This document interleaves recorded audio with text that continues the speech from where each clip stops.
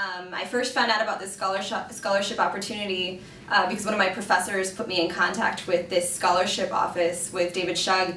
So I went in, I met with him, heard, heard about a lot of the different opportunities, and then uh, kind of near the end of my senior year I started to think a lot more about grad school.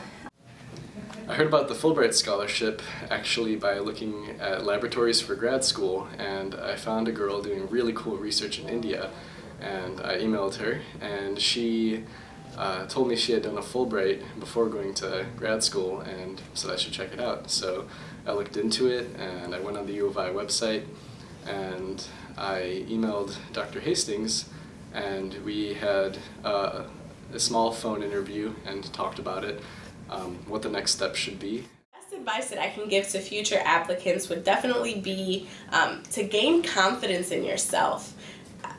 I I I went through like a my emotions kind of went through a roller coaster up and down where I, I kind of recognized my strengths I, but I, I was I honed in on my weaknesses you know and and, it, and it, it just became it was an uncomfortable process a needed process for me as a person to grow I, I won't take it back but have confidence in yourself. I would definitely say have confidence in yourself. Pursue it. Don't do it for the award. Do it because you know that you're going to grow as a person.